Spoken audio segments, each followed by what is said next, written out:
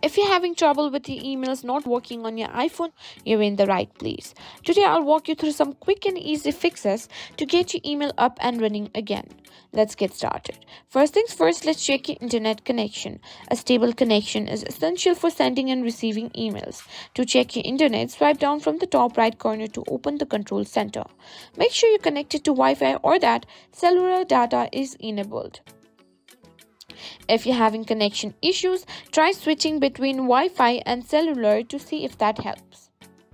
If your connection is fine, let's move on to the mail app settings. Open the settings app on your iPhone. Scroll down and tap on apps and find mail. Then select mail accounts and here you can see all the email accounts set up on your iphone. Select the email account uh, that isn't working. Make sure that your username and password are entered correctly. Next check the fetch data settings. Tap on fetch data. Ensure that push is enabled for your account if your email provider supports it.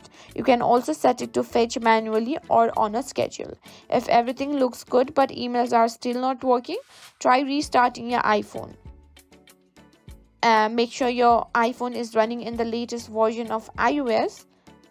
Go to check that, go to settings and tap on general and select software update. If there is an update available download and install it.